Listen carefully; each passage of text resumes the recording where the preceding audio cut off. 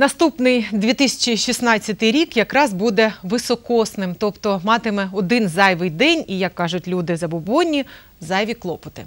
Почнеться він у п'ятницю і буде 16-тим роком третього тисячоліття. Ми забобонам не віримо, але зазирнути в майбутнє, хоча б одним оком, дуже хочеться. Знати все наперед не можна, та й, мабуть, не треба. А от прогнози все-таки не завадять. Погодьтеся, навіть вдало одягнутися це важливо. Що вже казати про життєві плани. А з ними допоможе людина, яка вміє читати по зірках. Астролог Катерина Духович.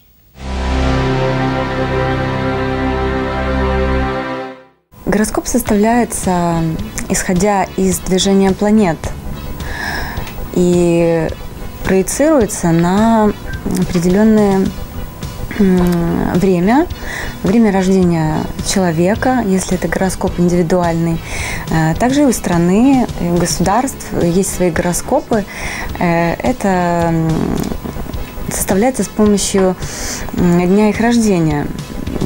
Например, у Украины это День независимости Украины, 24 августа 1991 года.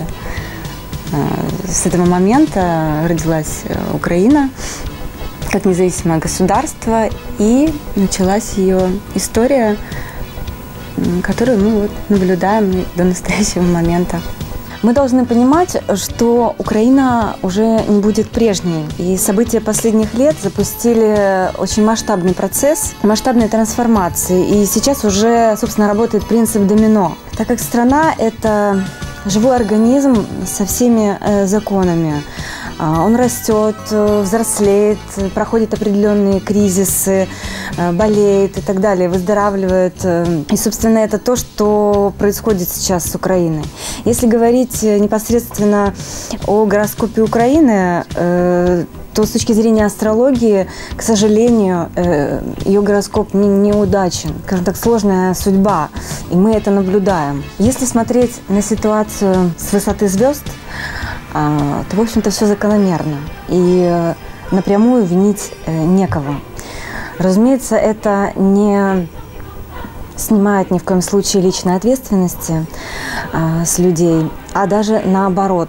Это все, что нам остается, это личная ответственность каждого человека за то, что происходит в его семье, в его жизни, в его городе, в его стране.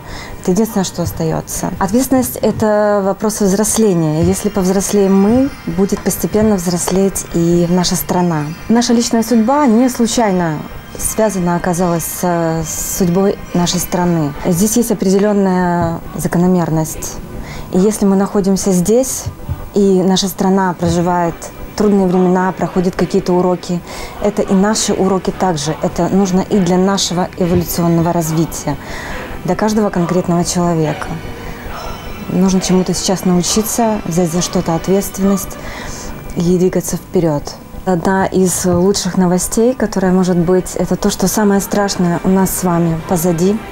Война постепенно будет заканчиваться. Где-то к концу уже года будет постепенно все затухать, и теперь перед нами предстанет э, новая реальность. Реальность результатов и последствий того, что уже произошло. С 2016 года в Украине начнут формироваться э, большие перемены в политической системе, и этот процесс продлится несколько лет.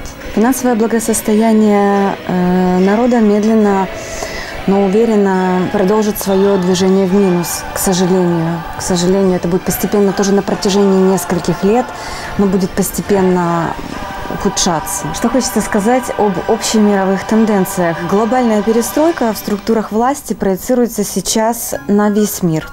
Это общемировая тенденция. Естественно, каждая страна сыграет эту пьесу по своему сценарию, э, индивидуальному, но есть такая пометочка, да, что везде, где есть э, трещины, где есть какой-то застой, давние нерешительные какие-то мучительные э, проблемы, это будет просто идти под снос, освобождая место для нового. Набирает силу тенденция довольно неприятная, такая как увеличение закулисных интриг, а, тумана, неясности, а, где-то подлости, несправедливости. И это тоже, к сожалению, касается и какого-то общемирового масштаба, и в политике каждой страны.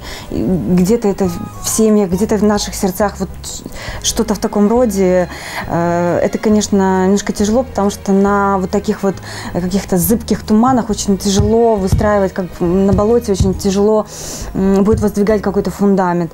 Э, Что мы можем э, сделать такой ситуации, быть бдительны, внимательно всматриваться, вслушиваться, где-то прислушиваться к своей интуиции, а, где-то анализировать, может быть, да, потому что и чувства будут обволакиваться неким туманом. Это нужно просто иметь в виду, это действительно э, тенденция, которая будет в течение года, которую мы будем наблюдать. В наступающем 2016 году я лично от себя хотела бы поздравить э, всех жителей нашего города, пожелать э, морозной, бодрой зимы и уюта, домашнего очага и тепла, и любви близких. Дарите любовь своим близким, берегите друг друга. Мира вам и благополучия.